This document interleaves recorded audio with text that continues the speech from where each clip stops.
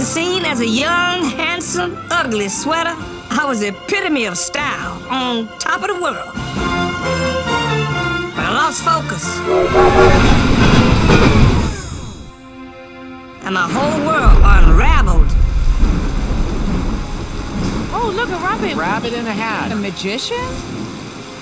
I went from living in penthouses to sleeping on park benches. Wow. Oh, wow. My life was hanging on by a thread.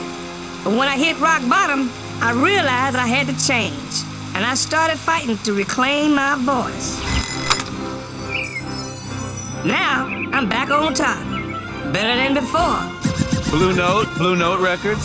So I want to win that trophy for all the people who helped me get back on my feet to live a life that's simply the best.